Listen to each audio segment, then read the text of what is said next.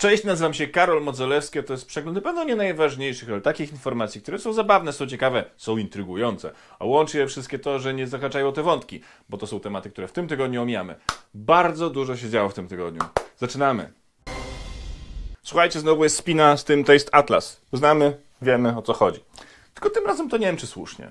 Taste Atlas to nazwijmy to taka organizacja, która zajmuje się zbieraniem ocen kuchni i potraw na świecie. I wypuścili teraz zestawienie 100 najlepszych kuchni świata. I Polska zajmuje tam 13 miejsce. I moim zdaniem całkiem nieźle, biorąc pod uwagę to, że w tej chwili uznanych jest na świecie 195 państw. Tylko problem polega na tym, że tam to nie wszystko do końca jest transparentne, jak oni to liczą.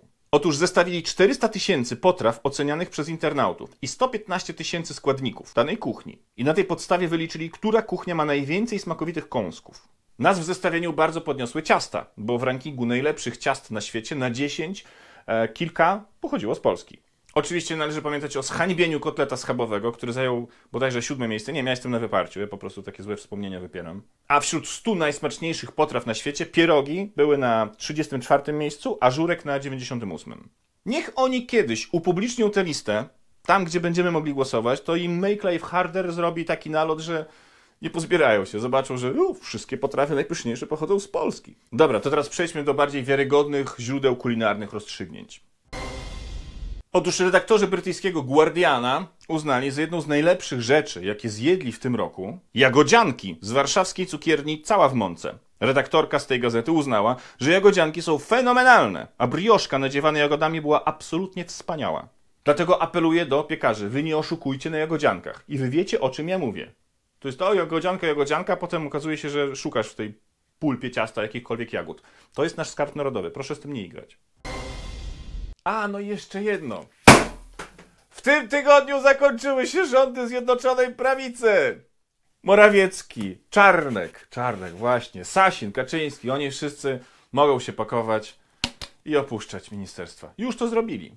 Cała ta banda tych pijanych władzą hipokrytów, którzy mieli w dupie głos społeczeństwa, w końcu spakowała się, opuściła ministerstwo, opuściła budynki rządowe i zrobiła miejsce tym, którzy teraz muszą ten burdel posprzątać. No i wydarzyło się dużo, ale ja postaram się teraz przedstawić Wam taki koncentrat tego, co miało miejsce. No więc, na zaproszenie Michała Marszała, którego konto na Instagramie bardzo polecam, e, który razem z Kinoteką organizował oglądanie posiedzenia Sejmu w kinie, oglądałem to na dużym ekranie. I razem ze mną i z pełną salą w kinie oglądało to wielu dziennikarzy z redakcji z całego świata, bo wszyscy są autentycznie zafascynowani tym, jak my teraz interesujemy się polityką, tworzeniem prawa i tym, którzy się tym zajmują. Przecież fenomenem jest chociażby kanał na YouTubie Sejmu, który już teraz, nie wiem, ma kilkaset tysięcy widzów. Te obrady Sejmu są oglądane kilka milionów razy. To jest ewenement na skalę światową i wszyscy są tym zachwyceni. Po tym, jak PiS odgrodził się w przenośni przez zanik transparentności, budowanie wokół Sejmu takiej atmosfery tajemnicy i przekrętów i dosłownie odgradzając się barierkami, w końcu ludzie nie tylko mogą zobaczyć, co tam się dzieje, ale chcą to robić. Chcą uczestniczyć w pracy tych, którzy decydują o tym, jak ma wyglądać Polska. I dlatego teraz jesteśmy na oczach całego świata, ze względu na to, co się wydarzyło. A wydarzyło się sporo. Sejm nie dał wotum zaufania rządowi Mateusza Morawieckiego i po tygodniach rżnięcia głupa przez nich i przez Andrzeja Dudę, prezydenta hobbystę, pogodzili się z tym, że stracili władzę. Swoim przemówieniem, swoim expose Mateusz Morawiecki nie przekonał nikogo oprócz już przekonanych. Aczkolwiek było kilka humorystycznych akcentów. Na przykład to, kiedy stwierdził, że niż demograficzny jest skutkiem dobrobytu, który zawdzięczamy rządom PiS.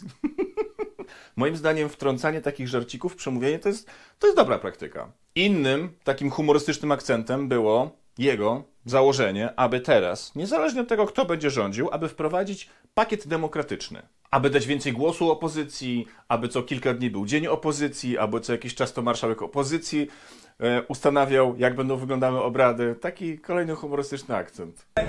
to wicemarszałek opozycji mógłby układać porządek obrad. Comiesięczne sprawozdanie prezesa Rady Ministrów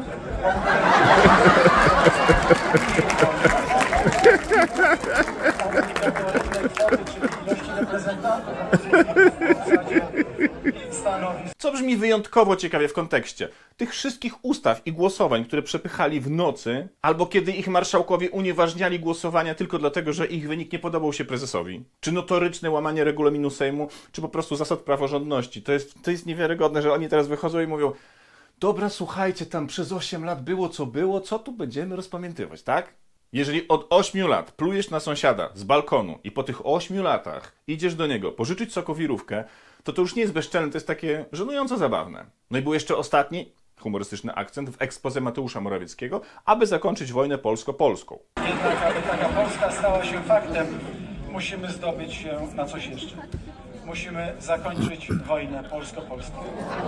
Wzywam do tego nas wszystkich, także siebie, i posłanki i posłowie. Skończmy z tą wojną. Może gdyby twój szef i ty, gdybyście nie wywoływali tej wojny, to teraz nie trzeba byłoby jej kończyć, partyzancie ze spalonego lasu. Wyzywanie od gorszego sortu tych, którzy nie głosowali na PiS. Pałowanie kobiet, które wyszły na ulicę tylko po to, aby domagać się prawa do samostanowienia. Twierdzenie, że nie rodzą się dzieci, ponieważ kobiety walą w szyję. I masa innych takich wypluwanych obelg i takiego wylewania żółci na ludzi, którzy nie są po ich stronie. To jest budowanie jedności, tak? Teraz się obudziliście. Tylko konflikt o to, który majonez jest najlepszy, jest w stanie tak podzielić Polaków, jak ten starszy, biedny, samotny, zgorzkniały człowiek. No i po tym, jak Mateusz Morawiecki nie przekonał większości sejmowej do tego, że się zmienił i że teraz już mu naprawdę zależy, Sejm wybrał nowego premiera i został nim Donald Tusk. I ja wiem, że wielu z was go nie lubi, wielu z was ma do niego negatywne nastawienie, ja też nie jestem jego fanem, ale obiektywnie patrząc, jest jedyną osobą, która ma na tyle dużo doświadczenia, żeby posprzątać ten gigantyczny burdel. A my jesteśmy od tego, by patrzeć jemu jego ludziom na ręce, aby sprawdzać, czy rzeczywiście spełniają te obietnice wyborcze. Podczas krótkiego przemówienia Donald Tusk wspomniał też o rządowych mediach, które szczuły na ludzi, nie zwracając uwagi na dziennikarstwo i o tym, że to całe kojarzenie go z Niemcami wymyślił sobie w 2005 roku Jacek Kurski. Jestem to winny i dedykuję to panu prezesowi, bo jestem to winny obu moim dziadkom. Dzisiaj też słyszałem te do Berlina, Für Deutschland. Każdego dnia słyszałem te słowa z telewizji. Każdego dnia słyszałem tę płytę nagraną wiele, wiele lat temu przez Jacka Kurskiego. Kiedy nagrał tę płytę, twój brat Lech Kaczyński do mnie publicznie powiedział, że takiego łajdaka świat nie widział jak Kurski. Po tym, co zrobił. Ponieważ to całe Für Deutschland i to, że Tusk jest niemieckim agentem, wzięło się z tego, że w 2005 Jacek Kurski wymyślił sobie, że Donald Tusk miał dziadka w Wehrmachcie, co było bzdurą. Wiedział o tym, że to jest bzdurą i świadomie i cynicznie kolportował te informacje dalej. Za co w mediach podczas debaty Lech Kaczyński przeprosił Donalda Tuska. A dlaczego o tym mówię? Za chwilę do tego wrócimy. Ponieważ po wszystkim wszyscy posłowie na sali plenarnej wstali i wspólnie odśpiewali hymn polski. I to było, to było tak piękne, moi drodzy. Ci, którzy to widzieli, wiedzą o co chodzi. W końcu, po całym dniu nawalania się po mordach, wstali i wspólnie zaśpiewali hymn polski. Przepiękny widok, w końcu nie kłócili się. I była to chwila, która dawała nadzieję, że być może ten apel Morawieckiego, to żeby zakończyć wojnę, którą sami zaczęli, ma sens. Ale nikt nie wspomina Lecha Kaczyńskiego bez zgody Jarosława. I wtedy Jarosław wyszedł na mównicę, po tym jak odśpiewali hymn i powiedział to. Panie, jest taki tryb, jak ktoś kogoś obraża. Panie pośle, w Ja nie trybie wiem, kim sprostowania. byli pana dziadkowie, ale wiem jedno, pan jest niemieckim agentem, po prostu niemieckim agentem. Panie pośle, proszę opuścić mównicę. Dziwne są tego rodzaju obelgi rzucane w takim momencie i w takim dniu, panie pośle Kaczyński. Czyli taki akcent podkreślający prośbę zakończenia wojny polsko-polskiej. To jest część pierwsza. Teraz proszę uwagę wszystkich tych, którzy siedzą w biurze i tak czują, kurczę, jak ja marnuję swoje życie. Gdybym, gdybym w młodości poszedł w siatkówkę, w piłkę nożną, trochę mniej, ale albo na przykład taki karling, to to teraz co? Puchary, splendor, szacunek ludzi ulicy, wszystko byłoby wasze. No właśnie, drodzy biurowi widzowie, to wszystko jest nadal w waszym zasięgu, ponieważ jest coś takiego jak Mistrzostwa Świata w Excelu i tam startował w tym roku Polak. All right, number four. Jakob the Alchemist Barnikowski.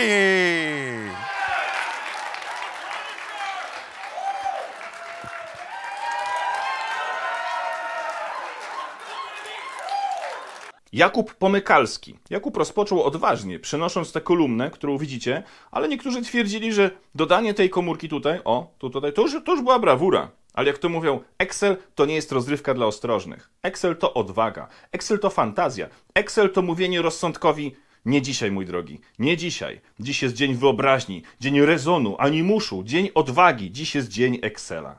A tutaj, widzicie to? O, o tutaj, to. Jak się wsłuchać w widownię, to słychać takie, takie ciche Oh no, he didn't. Co tłumacząc na polski oznacza, no co ty, Jakub? Ja nie mam zielonego pojęcia, co tam się dzieje i o co tam chodzi. Wiem natomiast, że wygrał Lawrence Lau i że oni tam mają do siebie dystans, bo tak komentowali sam finał. Is, is he safe? Is he safe? This is bold. This is bold. Look at it. Crossing his arms. No, no, no. The guy is flexing. 19, He's flexing. 18, He's flexing. What does he do? 16, What, look at this guy. Tam jest w ogóle taki potencjał, takie, takie mistrzostwa w wieloboju biurowym. Na początku Excel, owszem, ale potem jeżdżenie windą, kserowanie, rzucanie spinaczami w szefa, który powiedział, że nie będzie premii świątecznej. Jest potencjał. W związku z tym, że w polityce w Sejmie działo się dużo, a nie chcę, żeby to była taka wielka kobyła, która będzie ciężka do przełknięcia, dziwny związek frazeologiczny, no to podzieliłem to na kilka części. Więc teraz część druga, czyli nowi ministrowie. Przejrzyjmy tych najciekawszych. Na początek, moim zdaniem, najciekawsza nominacja to Adam Bodnar, który zastąpił Zbigniewa Ziobrę na stanowisku ministra sprawiedliwości i prokuratora generalnego. Adam Bodnar to doktor nauk prawnych, wykładowca prawa, były senator i rzecznik praw obywatelskich, kiedy to stanowisko coś znaczyło. Zbigniew Ziobro to człowiek oczekujący na wyrok, znany jako Zero, którego poniosły ambicje i zagrał z prezesem w pokera, ale obydwaj grali znaczonymi kartami. Ciekawostka, Zbigniew Ziobro jakiś czas temu zniknął nagle z życia publicznego. No jak jakiś czas temu, no. Czas, który pokrył się akurat z tym, że stracił władzę. Oficjalna wersja mówi o tym, że to problemy zdrowotne, a nieoficjalnie, ze źródeł, którym nie mogę ufać, dawno ich nie było, no nie? Wiem, że po prostu wstępnie dekoruje sobie cele. Szefem Ministerstwa Obrony Narodowej został Władysław Kosiniak-Kamysz i oby był pracowitym człowiekiem, bo to, że armia jest w stanie fatalnym, no to jest mało powiedziane. To jakby powiedzieć o człowieku, któremu urwało właśnie nogi, że cierpi na chwilowe niedogodności w przemieszczaniu. A odejścia najważniejszych dowódców w armii w proteście przeciwko polityce PiS tylko to potwierdziły. Ministrem spraw zagranicznych został Radosław Sikorski. I można o nim powiedzieć wiele rzeczy, i wiele z nich to nie będą komplementy, ale jednego, czego nie można mu odmówić, to charyzmy, no i też doświadczenia. A to jest o tyle istotne, że jeszcze przez 20 miesięcy urzęduje Andrzej Duda, a więc na wiele międzynarodowych zjazdów, konwentów czy zjazdów głów państw będą musieli jeździć we dwóch. A charyzma Andrzeja Dudy... Przepraszam, właśnie to usłyszałem w ogóle. To jest, to jest dopiero dziwny związek frazeologiczny. Charyzma Andrzeja Dudy. No mieści się mniej więcej gdzieś pomiędzy buldożkiem, którego chcesz poczochrać, a hydrantem. Do tego Sikorski może się dogadać po angielsku, rosyjsku i francusku. Andrzej Duda co prawda tylko po angielsku i na razie umie bardzo dobrze this is, this is, this is, this is, this is, this is. No ale za to, ej, przynajmniej rapuje, tak? Borys Budka został ministrem aktywów państwowych, więc przed nim tytaniczna praca usunięcia członków rodzin PiS z zarządów spółek Skarbu Państwa. Pierwsza już poleciała Janina Gos, przyjaciółka rodziny Kaczyńskich od lat 60., która za samo zasiadanie w radach nadzorczych Banku Ochrony Środowiska, PGE i Orlenu zarobiła półtora miliona złotych. Jakie miała kompetencje, aby zasiadać w tych radach nadzorczych? No mówiłem przecież, jest przyjaciółką rodziny Kaczyńskich, a w związku z tym, że za czasów PiS spółki Skarbu Państwa to były biznesy rodzinne, no to się zgadzało, tak? W ogóle mnie nie słuchacie. I na koniec Barbara Nowacka, której sam będę patrzył na ręce wyjątkowo czujnie, bo resort edukacji jakoś jest mi wyjątkowo bliski. To, co tam Czarnek nawyprawiał, przecież on wprowadził papieża nawet do lekcji przedsiębiorczości. To, co oni zrobili, jak cofnęli szkołę o tyle lat do, do jakiegoś mentalnego średniowiecza, tam jest dużo pracy do wykonania mam nadzieję, że pani Barbara jest pracowita. Ale też z drugiej strony ma trochę znaczy ma taki handicap, ma trochę ułatwienie na dzień dobry, no bo zastępuje Przemysława, dajmy więcej papieża Czarnka. To mniej więcej wygląda tak, jakbyście wyszli na scenę w Mam Talent po osobie, która przed chwilą ulepiła z drożdży papieża. To, co musicie zrobić, żeby go pokonać, to po prostu nie być nim. Minister Nowacka zapowiedziała już zmniejszenie liczby godzin religii do jednej w tygodniu. Z założeniem, że jeżeli rodzice i samorząd zdecydują inaczej, to proszę bardzo, może być ich więcej za ich pieniądze. Obecnie uczniowie przez całą podstawówkę mają więcej godzin religii niż fizyki czy chemii. Też dlatego, że fizyka i chemia zaczynają się później, ale i tak sumarycznie przez całą podstawówkę uczniowie spędzają więcej czasu z księdzem niż z nauczycielem fizyki albo chemii. A, no i Barbara Nowacka zaapelowała do nauczycieli, aby nie zadawali pracy domowej na święta. Sprytnie. Koniec części drugiej. A w cyklu, który nie ma nazwy, a w którym przedstawiam wam odgłosy dziwnych zwierząt albo dziwne zwierzęta, które mają. Coś się nie zgadza, no to w tym tygodniu odgłos harta. Posłuchajcie, jak, jaki dźwięk wydaje.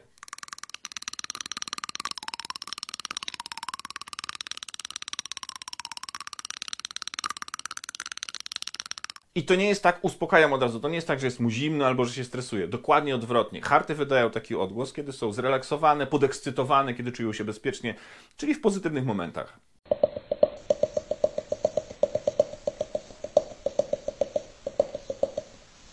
Albo nadaje morsem. Z dobrych wiadomości, to nowy rząd przywrócił pełne finansowanie telefonu zaufania dla dzieci. Po tym, jak na życzenie Przemysława dajmy więcej papieża Czarnka, to finansowanie zostało im odebrane. I jeszcze, jak już mamy pakiet dobrych wiadomości, to powołany został nowy wojewoda Małopolski, Krzysztof Klęczar. I pierwsze, co zrobił, to zarekomendowanie nowej minister edukacji usunięcie Barbary Nowak z funkcji małopolskiej kurator oświaty. I to się wydarzyło. Pani minister powiedziała: No, to jest bardzo dobry pomysł. Przypomnę tylko, że pani Barbara Nowak zasłynęła z tego, że blokowała dostęp do szkół dla organizacji pozarządowych, które nie podobały się Ordo Juris. Tam była taka lista, którą Ordo Juris zrobiło, no i Barbara Nowak i Przemysław Czarnek bardzo pilnie tę listę wcielali w życie. Oraz zasłynęła tym, że protestowała przeciwko budowie centrum spedycyjnego Lidla w Giedrzwałdzie, bo w okolicy objawiła się w XIX wieku Matka Boska. W ogóle to ostatnie zdanie brzmi tak absurdalnie, że tylko u nas mogło paść. W sensie w Polsce mogło się coś takiego wydarzyć. Przypomnę, że Giedrzwałd jest na północy. Ono jest z Małopolski. Jest kurator oświaty, tam się nic nie zgadza. A co jeśli chcielibyście zmienić pracę, ale szukacie inspiracji, bo, bo być może gdzieś indziej nie jest aż tak fajnie, to jest, jest, jest taka praca, która wydaje się być pracą idealną. Zobaczcie, czym zajmuje się kobieta o imieniu Mo. Codziennie wsiada do swojego busa, objeżdża okręg Skagway na Alasce i zbiera psy. Tylko to nie, nie są jakieś bezdomne i nie wiadomo, co się z nimi później dzieje. One po prostu tam na nią czekają. Czekają, ponieważ potem jadą do jej szkoły dla psów, w której je trenuje i gdzie spędzają czas, kiedy ich ludzie są w pracy. Owszem, może i nie ma Excela ani Xero, ale jakieś plusy, no jakieś tu widać.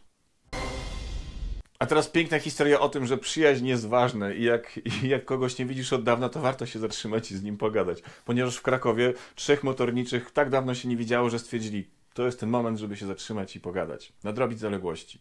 I postanowili na szybko te zaległości nadrobić i w ten sposób zablokowali całkiem spory kawałek Krakowa, który słynie przecież z płynnego ruchu ulicznego. Swoją drogą, nawet gdyby rzeczywiście specjalnie chcieli się tak zderzyć, no to by im się nie udało. To musi być kwestia przypadku. Ewidentnie kosmos chciał, żeby tego dnia w Krakowie wydarzyło się coś niezwykłego. A teraz pora na odrobinę prywaty w tym tygodniu szybciutko, w tym odcinku szybciutko, bo jest długi odcinek, mam nadzieję, że zmieszczę się poniżej 40 minut, albo będę musiał coś wycinać. Do rzeczy. Po pierwsze, bardzo polecam serdecznie program e, Czarka Sikory do startu start, który pojawił się właśnie na YouTubie.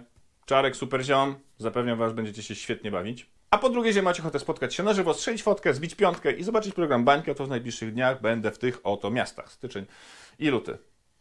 A, bilety do wszystkich wydarzeń oczywiście znajdziecie w linku do filmu. A jeszcze bym zapomniał, Adam Van Bendler też rzucił fragment swojego programu Polska w pigułce, oczywiście też do znalezienia, na YouTubie. Kultura na wynos. I w tym tygodniu rozdano growe Oscary. I tutaj jest kilka ciekawostek. No więc, tytuł gry roku zdobyło Baldur's Gate 3. Doceniono przede wszystkim to, że Larian Studios nie wyszło z założenia, że o, oni wiedzą lepiej, czego chcą ludzie, ale wsłuchali się w głosy graczy i dali im to, czego oni oczekiwali. I zrobili to doskonale. Nominowane były jeszcze Spider-Man 2, Alan Wake 2, Resident Evil 4, Super Mario Bros. Wonder i Legend of Zelda Tears of the Kingdom. A jeszcze ciekawe jest to, że w kategorii najlepsza reżyseria, narracja i kierunek artystyczny wygrał Alan Wake 2. Baldur's Gate 3 zgarnął jeszcze wyróżnienia w kategorii najlepszy występ, najlepsze wsparcie społeczności, najlepsze RPG, najlepszy multiplayer i nagroda Player's Voice. Z polskich akcentów to Cyberpunk, to, jest, to nie jest takie łatwe zdanie. Był nominowany w pięciu kategoriach, a wygrał w kategorii najlepsza rozwijana gra. Sprytnie, no nie? Ale w przyszłym roku to się może zmienić. Bo być może wyjdzie już polski symulator przetrwania w Polsce lat 90. Maluchy i polonezy na drogach, disco polo w radio, młody Peja na kasetach, może Tamagotchi, może te Zosy. Wtedy świat gamingu pozna prawdziwą moc polskich deweloperów. A i jeszcze ten przecież będzie, e, być może będzie, Van Damme na VHS-ie. To są sentymenty. No, to są sentymenty. No, dobra, to jak jesteśmy już przy sentymentach. To wytwórnia Universal rezygnuje w Polsce z wydawania filmów i seriali na płytach DVD i na płytach Blu-ray. Więc jeżeli chcielibyście coś tam od nich kupić, to raczej trzeba się śpieszyć. Oczywiście to wszystko ze względu na popularność, rosnącą popularność serwisów streamingowych i serwisów VOD. Co moim zdaniem jest nie na rękę ludzkości, no bo przecież jak będziemy się okopywać w gruzach po kiosku ruchu, o ile jeszcze będą, walcząc z robotami o nad światem, no to przecież nie odpalimy Netflixa. Takie DVD zawsze pod ręką, tak? Przegląd ceramiki, czyli co ciekawego ostatnio zrobiły dzbany. I jeżeli nie wróciliście z Erasmusa, na którym nie mieliście pojęcia, co się dzieje w Polsce, no to prawdopodobnie już wiecie, kto będzie dzisiaj w tym przeglądzie, bo jest jedna osoba, która się tutaj nadaje i nikt inny nie ma podjazdu. Grzegorz Braun, czyli prorosyjski polityk Konfederacji. Na początek dwa zdania, kim on w ogóle jest. Grzegorz Braun jest za wyjściem Polski z NATO i zawiązanie sojuszu z Białorusią, gdzie jest pokazywany w telewizji i nazywają go tam kolegą. Ale ma też innych kolegów, na przykład Leonida Swidyrowa, wydalonego z Polski, a wcześniej z Czech w związku z podejrzeniami o szpiegostwo na rzecz Rosji. Mówiąc bardziej obrazowo, jeśli na urodzinach Brauna rzucisz MLM-sem, jest bardzo prawdopodobne, że trafisz w któregoś z agentów powiązanych z Rosją. No i teraz w Sejmie ten prorosyjski polityk Konfederacji zrobił to.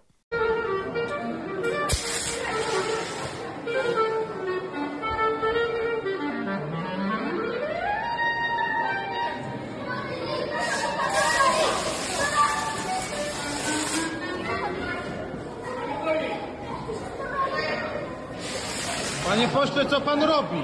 Panie pośle, co pan robi?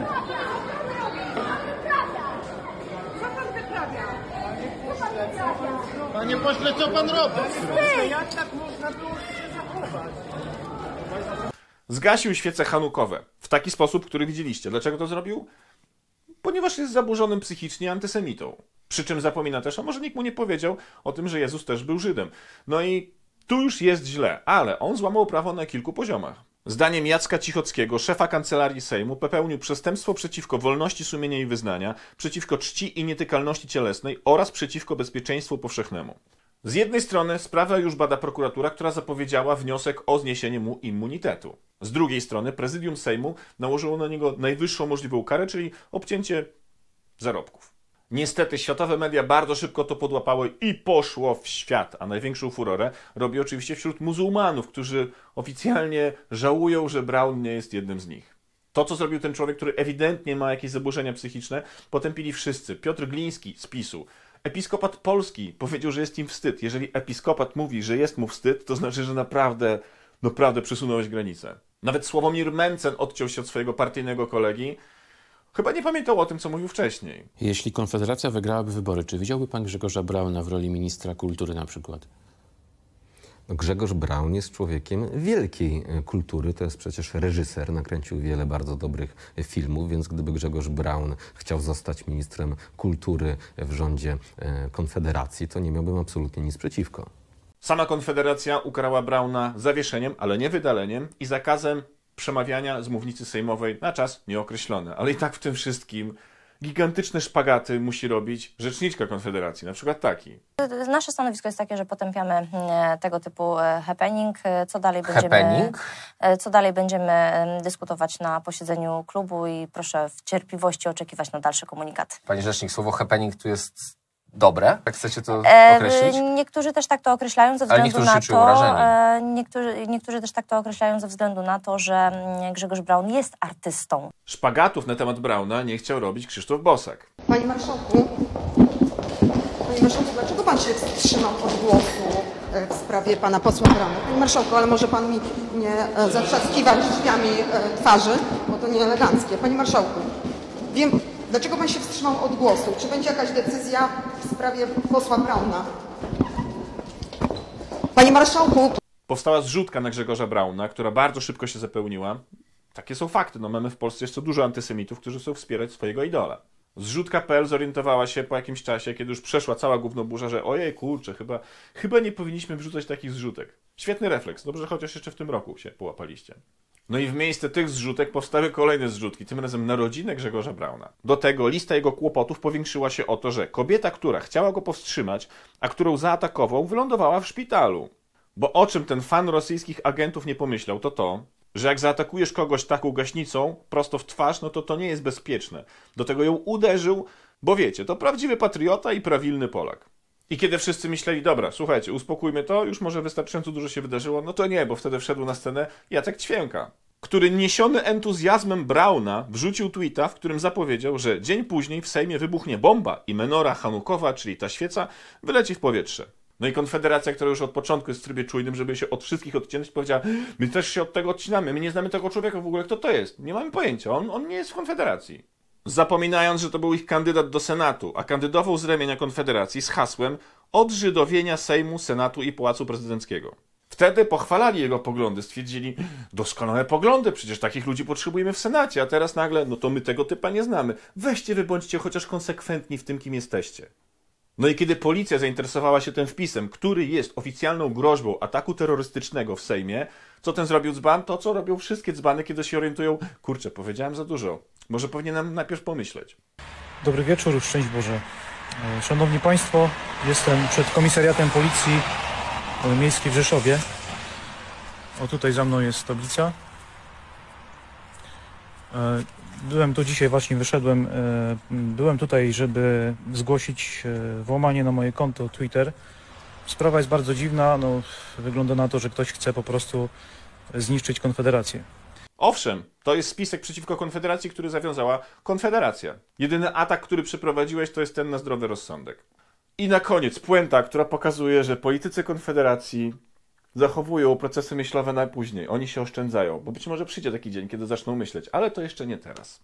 No więc Grzegorz Braun dziękował Adarowi Blumensteinowi za przyznanie mu racji. Adar Blumenstein, jak się przedstawia, to polski Żyd, który wypowiada się w kwestiach społecznych i politycznych. Tyle, że jak to pięknie wyjaśnił Gromota na Twitterze, tenże polski Żyd nie jest polskim Żydem. To Jakub S., działacz Młodych dla Wolności, czyli młodzieżowej przybudówki Konfederacji.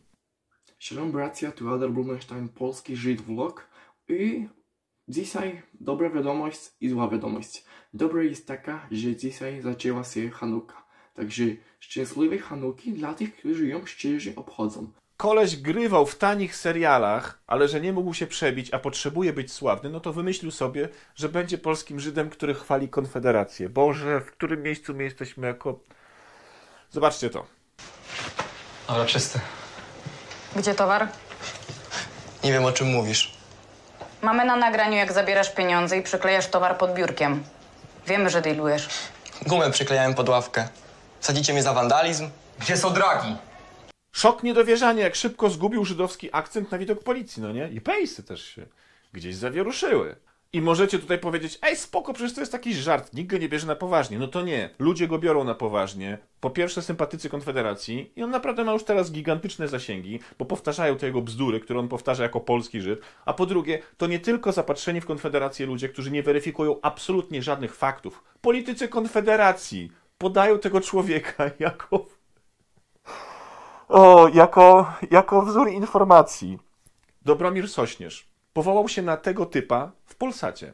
Warto walczyć z antysemityzmem, wie pan, i warto walczyć z ksenofobią i z językiem nienawiści i z zachowaniami wewnątrz, nienawistnymi. wewnątrz jest na dzisiaj chyba, No chyba, taki, że- taki filmik wrzucony przez polskiego Żyda, który tłumaczy, yy, cieszy się z tego, co Grzegorz Braun zrobił, tam bije mu brawo, że bo, bo dobrze, bo to ta sekta tych Lubawy czy tamten, oni to, oni to źle tą Hanukę świętują, no, ale czy ten polski I nie Żyd, chcecie go stracić, Ten znaczy to- polski Żyd też jest antysemitą, który bije brawo Grzegorzowi Ja Braunowi. nie wiem, o kim pan Ale mówi, oni, pan, no, ale oni to właśnie. nagrywają w ramach jakiegoś takiego rozładowania humorem tej, tej strasznej rzeczy, która się wczoraj Nie, stała. no to poważnie było. E, Politycy i wyborcy Konfederacji powołują się na typa, który pragnąc rozgłosu udaje polskiego Żyda, który chwali Konfederację, a sam jest w Konfederacji jako nieudany aktor. Wy rozumiecie, co to jest za uniwersum Konfederacji? To jest tak przedziwny twór. Przecież oni za chwilę będą chcieli domagać się komisji śledczej w sprawie Hanki Mostowiak, no bo przecież po tej śmierci nikt jeszcze nie rozliczył tych kartonów.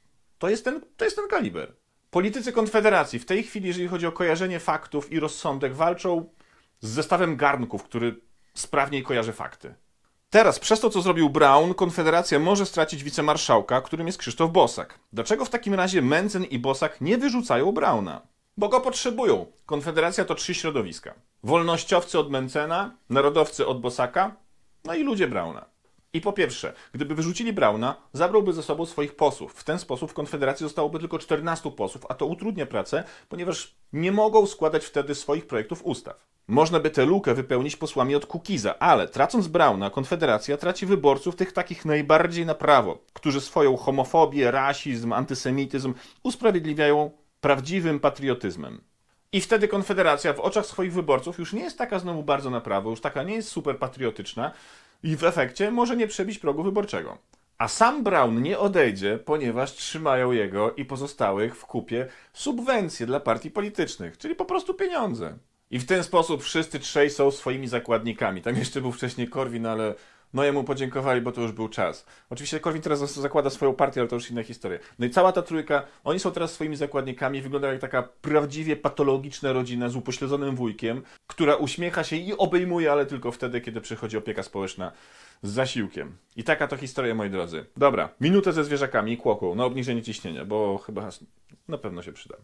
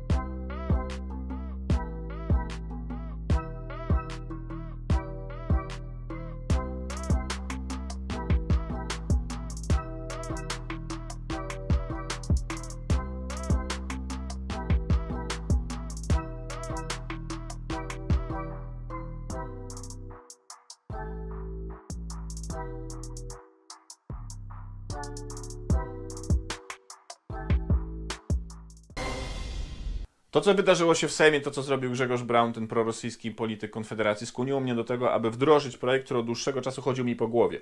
A mianowicie, zbieram teraz zespół psychiatrów, prawników i specjalistów od legislacji i rozpoczynamy pracę nad obywatelskim projektem, który nakładałby na kandydatów do Sejmu, Senatu czy Europarlamentu obowiązek przejścia badań pod okiem biegłych psychiatrów, którzy mogliby stwierdzić, czy dana osoba posiada zaburzenia, fobie, może jakieś psychozy. I ja rozumiem, że dla niektórych ten pomysł może się wydawać naturalny i normalny, dla innych kontrowersyjny, tylko przypomnę o jednej prostej rzeczy, a mianowicie w Polsce psychotesty muszą przejść chociażby maszyniści, kierowcy zawodowi, motorniczy czy piloci. Czyli w Polsce człowiek, który wozi bułki, musi przejść takie testy, a człowiek, który idzie do Sejmu i będzie pracował nad tym, jak wygląda prawo w Polsce, takich badań nie musi przejść. To jest, to jest paranoja, to jest nienormalne. I rozumiem, że wokół tego pomysłu jest wiele kwestii, które trzeba doprecyzować, wiele wątpliwości, które trzeba rozwiać, ale tym się zajmą ludzie mądrzejsi ode mnie. Mam nadzieję, że za kilka tygodni wrócę do Was już z założeniami tego projektu. A potem co? Jeżeli okaże się, że ten projekt ma sens, zaczniemy zbierać podpisy. Ej, a pamiętacie Mariannę Schreiber? To żona byłego wiceministra PiS, która była w top model i potem bardzo, ale to bardzo chciała być sławna. Więc założyła partię Mam Dość. A kiedy ludzie mieli jej dość, poszła do wojska. A potem protestowała przeciwko freak fightom no to nadszedł ostatni etap jej kariery. Ponieważ będzie walczyć we freak fightach, które chciała zakazać. A jak powszechnie wiadomo, no to freak fighty to jest ostatni etap życia celebryty w Polsce. Potem ewentualnie są jeszcze reklamy skupu katalizatorów i koncerty na Dzień Słonecznika gdzieś pod Lubartowem. A i jeszcze z takich zabawnych postaci w polskim showbiznesie, to jeszcze jest news o mamie ginekolog, słynna celebrytka i influencerka Nicole Sochacki-Wójcicka, która od lat udziela porad na Instagramie kobietom w ciąży jako mama ginekolog. Po latach Została ginekologiem! Oficjalnie udało jej się zostać ginekologiem, zdać egzamin już ma dyplom i już teraz oficjalnie po tych tylu latach w końcu może potwierdzić to, że jest ginekologiem po tym, jak mówiła przez tyle lat, że jest ginekologiem. Fajnie. Szkoda tylko, że już zużyłem konfetti, no ale no, źle dobrałem priorytety. A w Stanach youtuber Trevor Jacob rozbił samolot. Zrobił to jakiś czas temu. I zrobił z tego film i wrzucił ten film na YouTube'a. No i ten youtuber to jest taka trochę Marianna Schreiber, trochę mama ginekolog, a trochę Grzegorz Braun. Ma po trochu z każdej z tych opcji. A rozbił samolot po to, aby nabyć wyświetlenia i zdobyć więcej rozgłosu. Ten człowiek też jest mocno zaburzony. I mówię o tym dlatego, że teraz usłyszał wyrok za coś takiego, za to, co zrobił pół roku bezwzględnego więzienia. To jest dobra wiadomość. Zła jest taka, że odnowił sobie licencję. Także, ale okej, okay. Kolejna dobra jest taka, że przez pół roku to polata sobie co najwyżej po spacerniaku. Co tam w sporcie? No więc, cztery medale w paratańcu sportowym wywalczyła reprezentacja Polski. Srebro i trzy brązy. Brawo, Kobieca reprezentacja w piłce nożnej wygrała swoją grupę w Lidze Narodów i były przy tym niepokonane. Polacy zdominowali też Mistrzostwa Świata w strzelaniu dynamicznym rozgrywane w Tajlandii. Trzy medale drużynowe i trzy indywidualne lecą do Polski. A może już wylądowały. Kurczę, nie wiem jak tam u nich. A w lidze tureckiej zawieszono rozgrywki po tym, jak prezes klubu Ankara Guczu wbiegł na murawę boiska, nie zgadzając się z decyzjami sędziego i go znokautował. Dosłownie. Stracił przytomność. Potem go podnieśli, ale no mimo wszystko, słuchajcie, znokautował sędziego. Rozgrywki zawieszono i nie wiadomo jeszcze jaką karę poniesie klub. Ale co ciekawe to to, że prezes wcale nie wykazuje skruchy. Jeszcze mają inny problem, a mianowicie taki, że sędziowie zaczęli się buntować i nie chcą już sędziować meczów, co jest logiczne, gdzie mogą zostać znokautowani. I teraz turecki Związek Piłki Nożnej szuka sędziów za granicą, takich, którzy by posędziowali u nich. W ogóle w tym odcinku jest dużo ofert pracy. A teraz kronika kryminalna i w tym odcinku jest nie tylko międzynarodowa, ale jest też międzygatunkowa. Na początek Brazylia. Otóż w tamtejszym więzieniu o zaostrzonym rygorze w São Pedro strażnicy więzieni dostali wsparcie w pilnowaniu osadzonych. Do nowoczesnych technologii dołożono gęsi, które mają alarmować strażników, jeżeli któryś ze złoczyńców chce uciec z więzienia. Gęsi 60 to bardzo terytorialne, głośne i wredne zwierzęta. Zresztą w świecie zwierząt zawsze były postrzegane jako konfidenci, więc ta informacja nie spotkała się z zaskoczeniem wśród reszty ptaków. Władze zakładu karnego nie podają liczby stróżujących gęsi, ale ich liczebność znają osadzeni, twierdząc, że jest ich po prostu za dużo. Nie wykluczałbym też hipotezy, że to jest y, zemsta za kurtki puchowe. To skoro jesteśmy już w świecie złoczyńców i szeroko pojętych tekstyliów, to zgodnie z zimową tradycją policja znowu wyjmowała z kontenera na używane ubrania poszukiwanego mężczyznę. Tym razem w Świętochłowicach 28-latek, nazwijmy go Wojtek, wszedł do kontenera na ubrania i utknął tam na 3 godziny. Aby go uwolnić, wezwano policję, co było mu o tyle nie na rękę, bo był poszukiwany do odsiadki za włamanie. A mówię o tym, że to tradycja, ponieważ w zeszłym roku w Kentach taki zawodnik utknął w kontenerze, z którego został odwieziony do zakładu karnego, bo tam już na niego czekali. Podobnie było we Wrocławiu. Dwa lata temu w Łomży trzech pijanych typów założyło się, który z nich jest najgłupszy i wejdzie do środka. I jeden rzeczywiście wygrał. Jeszcze wcześniej w Świnoujściu, tam też utknął poszukiwany do odbycia kary. Te pojemniki na używaną odzież są dla policji jak, jak kalendarz adwentowy.